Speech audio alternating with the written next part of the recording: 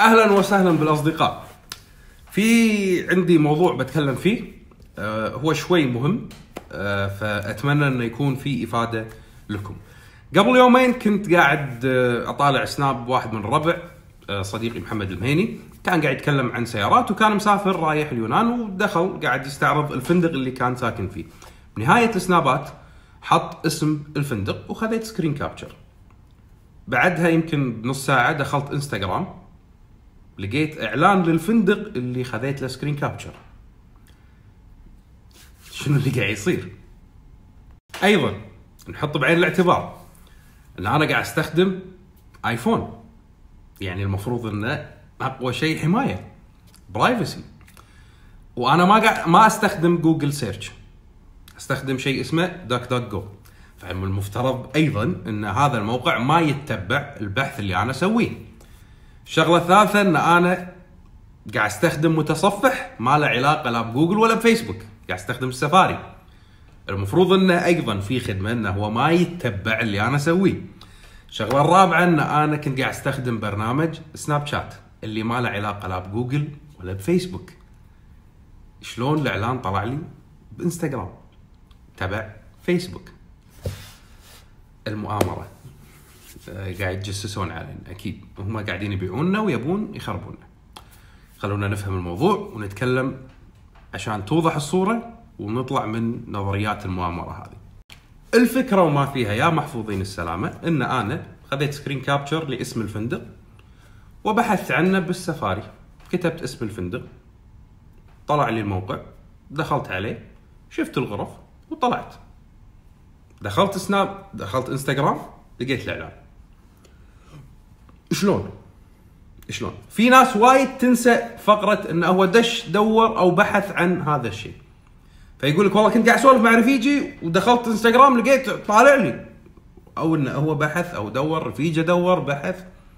لازم في يكون بحث عشان يطلع لك هذا الشيء. ليش؟ ليش في بحث ولازم يطلع ولازم هذا؟ من شغلة اسمها ملفات الكوكيز في المواقع. شنو ملفات الكوكيز؟ وشلون تشتغل؟ وشلون نتعامل معاها؟ خلونا نشوف. ملفات الكوكيز هي ملفات صغيرة تسمى بملفات تعريف الارتباط.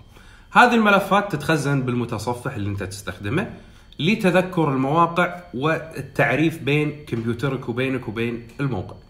أغلب المواقع تستخدم هذه الملفات لتقديم خدمات تسويقية لحفظ البيانات عشان لما تدخل الموقع مرة ثانية يعطيك تجربة أفضل من لما تدخل ويحسن لك التجربة مالت المستخدم مع الموقع والخدمة اللي قاعد تقدم لك.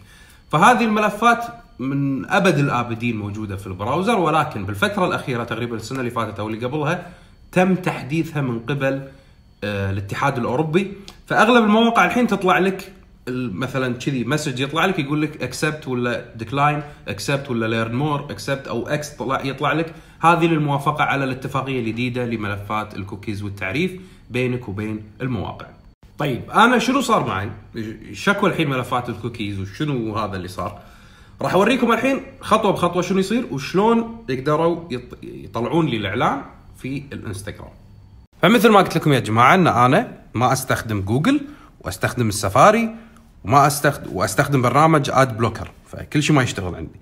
فاللي صار إن أنا خذيت هذه الصورة من حساب محمد المهيني captureتها دخلت على سفاري كتبت أمان زوي villas طلعوا لي البحث في دوك دوك جو فمثل ما إحنا شايفين هذا إعلان ad لما تضغط عليه ما راح يفتح عندي.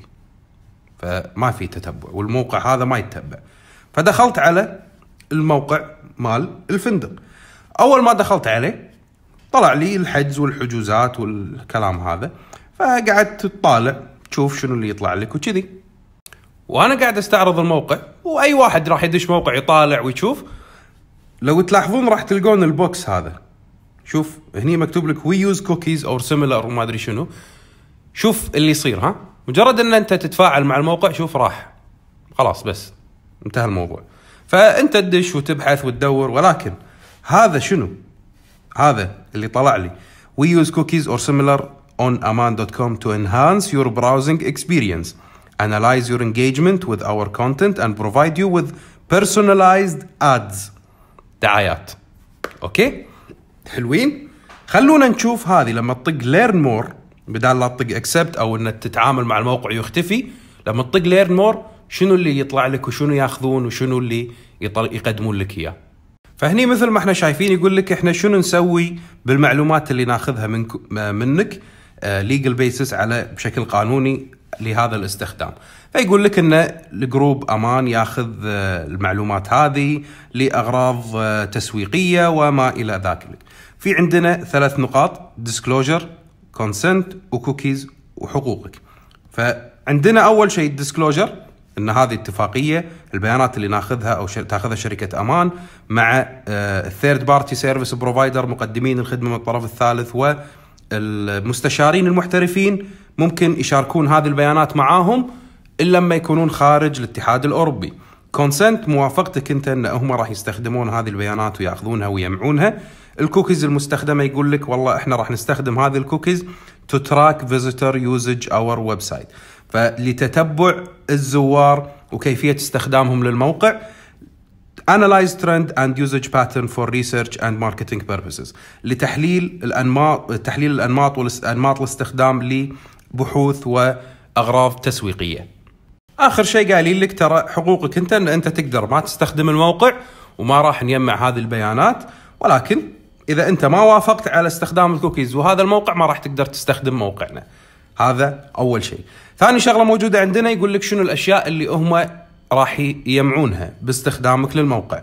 ف your contact information إذا سجلت بالموقع راح ياخذون اسمك يخزنونها عندهم الاسم رقم التليفون الإيميل عنوانك آه، إذا شريت شيء من الموقع راح يقول لك راح نحفظ ال credit card number ال security code ال expiration date فهذه كلها البيانات تنحفظ في حالة استخدمت هذا الشيء. مو لما تدخل الموقع يحفظونها لا. إذا استخدمت جزء من أو شيء يحتاج هذا الشيء. في عندنا بعد information related to your client profile. عنوان التوصيل الدولة اللي أنت ساكن فيها عملتك المفضلة وما إلى ذلك. هذا كله على حسب الاستخدام. ولكن أهم نقطة عندنا آخر واحدة هذه information about your computer. هذه هي مالت الكوكيز ومالت الإعلانات اللي نبي نهتم فيها. فهني يقول لك information about your computer. لما تدخل الموقع راح ناخذ هالشيء معلومات عن كمبيوترك أو الجهاز اللي أنت داش منه متضمنة أنت وين؟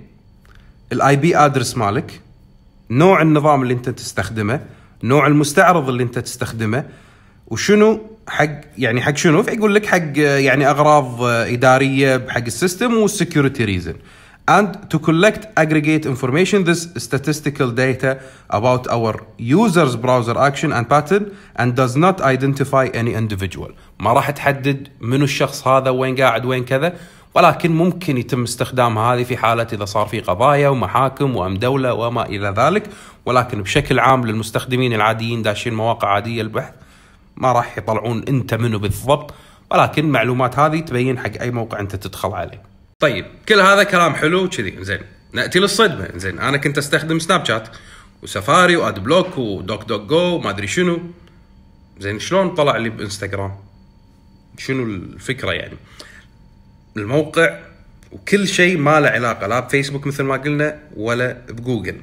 لما ندخل على الاتفاقية ونقراها مثل ما إحنا شايفين راح نلاقي إن في عندنا هني شنو طالع وقايل لك. فيقول لك performance cookies أو الكوكيز اللي يستخدمونها بالموقع للأداء وهذا شلون تشتغل. فخلونا نطالع واحدة واحدة ونشوف شلون يشتغلون. أول شيء موجود عندنا ال performance cookies هذه تقول لك to collect information about how visitor use our website. إذا المستخدمين أو الزوار شلون يستخدمون موقعنا so that we can continue improve our website. عشان نحسن موقعنا. شنو الكوكيز نوعيتهم اللي يستخدمونها؟ We use cookies provided by Google Hotjar and Facebook أوكي وضحت الحين؟ نيجي حق النقطة الثانية. functionality cookies هذه حق الأداء. إذا كنت تبي تشتري this cookies allowed to our website to remember choices user make.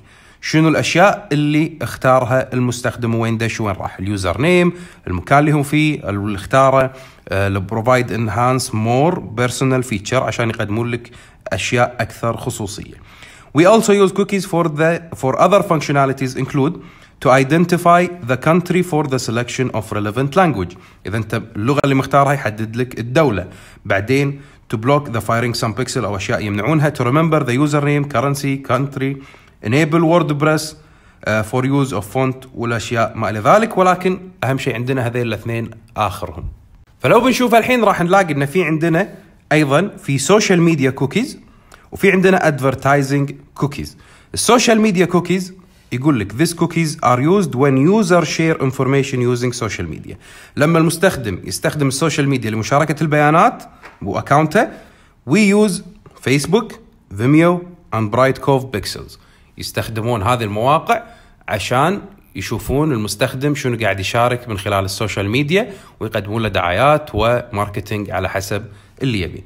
في عندنا بعدين هني ال advertising cookies This cookies collect information about your browsing habits عاداتك في التصفح to deliver advertising to you that is relevant, relevant to you and your interest عشان يقدمون لك اعلانات يعني مختصة في اهتماماتك والاشياء اللي انت تحبها وتكون اشياء انت تبيها. The cookies we use include Google Ad Service, Google Tag Manager, Facebook, Data Layer, Travel ما شنو؟ ياهو، بينج، ياهو جابان، WordPress WooCommerce.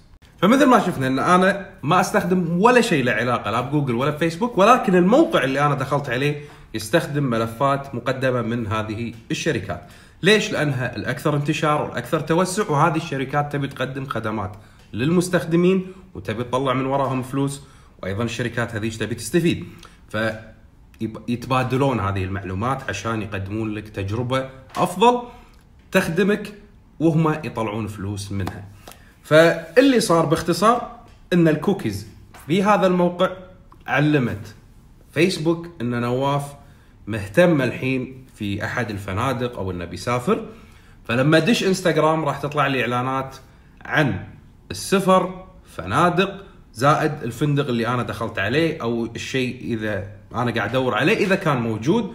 فيقولوا لهم شوفوا ترى إحنا حطينا إعلانكم حق ناس مهتمة وهالسوالف هذه. فالفكرة كلها فكرة business بحت. لا تجسس ولا متابعة ولا يبون يخربون حياتنا ولا يبون يدمرون دولنا. إحنا already مدمرين. المهم شكرا لكم. أتمنى في فائده لكم في هذا المقطع أنا آسف ولكن في شغلة نسيت أقول لكم إياها حق الناس. اللي تستخدم أجهزة ال iOS iPad أو iPhone شلون ممكن تحد من الإعلانات هذه وشلون ان تتبع الجهاز عندك؟ خلونا نشوف أوريكم الطريقة شلون. في عندنا طريقتين. أول شيء تدخل على ال privacy أو باللغة العربية إذا كان جهازك بالعربي تدخل على الخصوصية. راح تنزل لآخر شيء راح تلقى كلمة advertising أو الإعلانات. تضغط عليها راح يطلع لك أول اختيار limit ad tracking الحد من التتبع الإعلاني. يمكنك إلغاء الاشتراك في خدمة تلقي الإعلانات التي تستهدف اهتماماتك. قد تستمر في تلقي نفس العدد من الإعلانات لكن الإعلانات قد تكون أقل صلة بك. يعني ما راح يتبع أنت شنو اهتماماتك ولكن راح تظل إذا الإعلانات تطلع لك. فإذا تبي تحد من التتبع الإعلاني شغلها عشان تقدر تحد من التتبع الإعلاني. هذه النقطة الأولى. النقطة الثانية أيضا بالإعلانات إنك تروح إلى السفاري بالإعدادات تروح إلى سفاري. راح تلاقي في عندك هني prevent cross site tracking منع التتبع أثناء تصفح المواقع. تفعلها إذا تبي توقف التتبع لما تتصفح. حظر كل ال cookies block all cookies هذا راح تمنع لك إن المواقع تستخدم الكوكيز وتتبعك وتخزن بياناتك ولكن إذا شغلتها في وايد مواقع ما راح تشتغل معاك نفس مثلا Amazon eBay لأن تعتمد على الكوكيز فما راح تشتغل معاك فيستحسن إن أنت تخليها طافية هذه.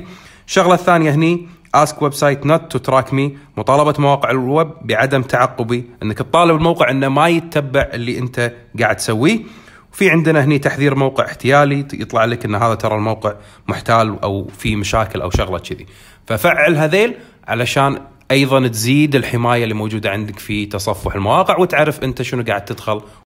أتمنى أن هذا المقطع مفيد لكم. آسف إذا طولت عليكم. آه إذا في عندكم أي سؤال أو استفسار أتمنى أن أنتم تسألوني بتويتر. أنا بإنستغرام ما أجاوب على الرسائل الخاصة أنا أعتذر.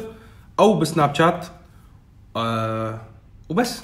إذا عجبكم المقطع أتمنى أن أنتم تنشرون الحساب وتنشرون المقطع لتعم الفائده على الجميع. شكرا لكم مرة أخرى. مع السلامه